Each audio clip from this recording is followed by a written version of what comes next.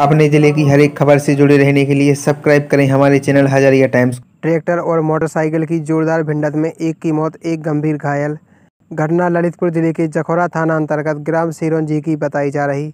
Motorcycle पर सवार रविंद्र उम्र तेईस वर्ष, निवासी मऊ थाना तालबेहट एवं पुष्पेंद्र उम्र पच्चीस वर्ष, निवासी मेलवारा थाना जखौरा, जो कि ललितपुर से अपने गाँव की ओर जा रहे थे, तभी सिरोंजी के पास एक ट्रैक्टर ने उनमें जोरदार टक्कर मार दी, जिससे रविंद्र एवं पुष्पेंद्र गंभीर रूप से घायल हो गए, जिन्हें राहगीरों की मदद से सामुदायिक स्वास्थ्य केंद्र चखोरा पहुँचाया गया, जहाँ से जिला चिकित्सालय के लिए उन्हें रेफर किया गया।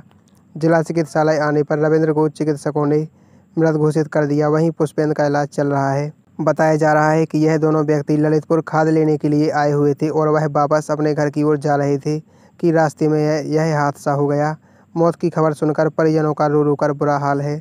ललितपुर से विनोद मिश्रा के साथ बलराम पचौरी की रिपोर्ट। मुझे क्या हुआ? ये क्या घटना हुई? सर ये खाद लेने के लिए ललितपुर आ रहे थे। ललितपुर से जो गाँव आ रहा है अपने वहाँ पे ट्रैक्टर में इनकी बाइक गल गई कहाँ गली भाई? ये शेरन जी। तो कहाँ कहाँ जा रहे थे ये लोग? ये लोग मैनवार आ रहे थे। तो कौन कौन सवार था मोटरसाइकिल ये रवन और पुष्पन तो कौन इसमें क्या है? हालत क्या है दोनों की? जी पुष्पन की हालत गंभीर है और उनकी एक्सपायर हो चुकी है रविंद्र। रविंद्र एक्सपायर हो गए। कैसे सूचना मिली आपको? ये हमारे लिए शेरन में हमारे रिश्तेदार हैं। उनने हमारे लिए कॉल लगाया। तो उनके द्वारा हमारे लिए पता पड़ा है। आप यहाँ चल एक्सीडेंट हो चुका है। आप कौन है? ये हम उनके भाई हैं। रविंद्र के? रविंद्र के रविंद्र हमारे बुआ के लड़का हैं और पुष्पन चाचा के लड़के हैं।